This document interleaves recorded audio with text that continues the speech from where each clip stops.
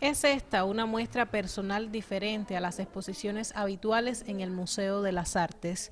Sombreros de todas las dimensiones y con historias por contar dan la bienvenida a los visitantes. Con la magia del sombrero parte precisamente de ahí, de un sombrero y ese es el motivo para crear nuevas imágenes, nuevas interpretaciones, para acercar a los niños, a los jóvenes y, ¿por qué no?, los adultos recordar estas técnicas eh, de la postura. Es una primera muestra porque la segunda eh, quedará inaugurada en el Museo Provincial el día 18 de octubre a las 10 de la mañana. Con variadas técnicas y recursos se conforma un universo de colores y magia que acercan a la muñequería textil y a las historias de las abuelas.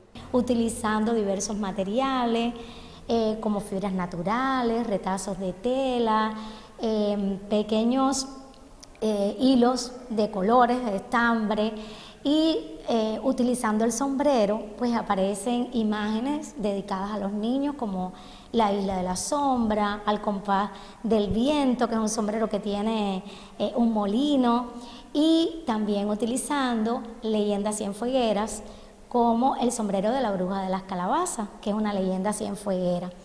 También quise recrear los alfileteros de las abuelas, en forma de Pamela. Símbolos de cubanía que se resemantizan cargados de expresiones y que invitan a llegar hasta este sitio que con la exposición celebra desde ya la jornada de la cultura cubana.